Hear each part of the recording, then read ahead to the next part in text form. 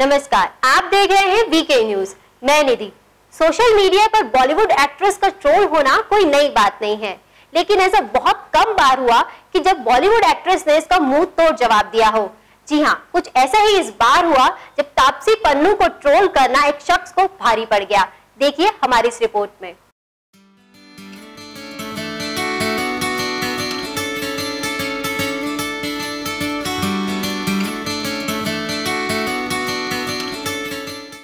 South से बॉलीवुड में कदम रखने वाली तापसी पन्नू को अब एक स्ट्रॉन्ग एक्ट्रेस के रूप में देखा जाता है। अमिताभ बच्चन के साथ आई पिंक मूवी में उनके किरदार को खूब पसंद किया गया। इसके बाद तो इनको एक के बाद एक कई फ़िल्में ऑफ़र होने लगी। साथ ही फ़ैन फॉलोइंग भी पहले से ज़्यादा हो गई है, लेकिन इसके बाद भी तापसी को ट्रॉल होना पड़ा। जी हाँ सोशल मीडिया पर अक्सर बॉलीवुड एक्ट्रेस को ट्रॉल किया जाता है। जिसे वो ज़्यादातर इग्नोर कर देती हैं, लेकिन तापसी उन एक्ट्रेस में से नहीं है।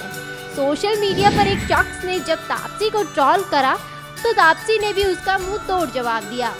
आपको बता दें कि रोहित नाम के शख्स ने तापसी के बारे में लिखा कि तापसी पन्नू बॉलीवुड में सबसे खराब दिखने वाली महिला है।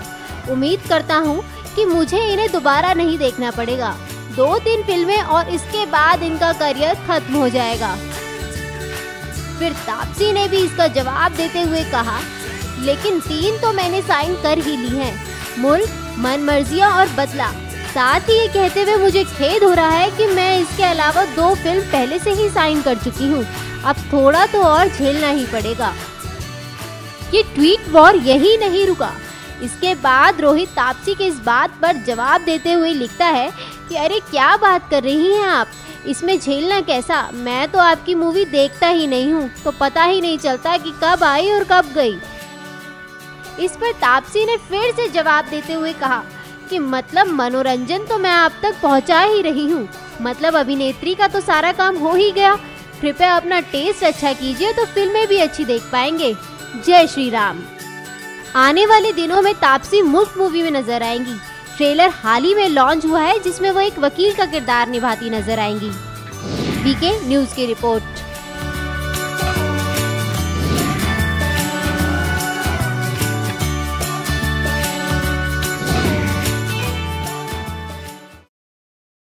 आपको हमारा ये वीडियो कैसा लगा, कमेंट बॉक्स में ज़रूर बताएँ। अगर आपको हमारा ये वीडियो पसंद आया तो इसे लाइक करें शेयर करें और ऐसे ही ताज़ा तरीन न्यूज़ से अपडेट रहने के लिए हमारा चैनल सब्सक्राइब करें। शुक्रिया।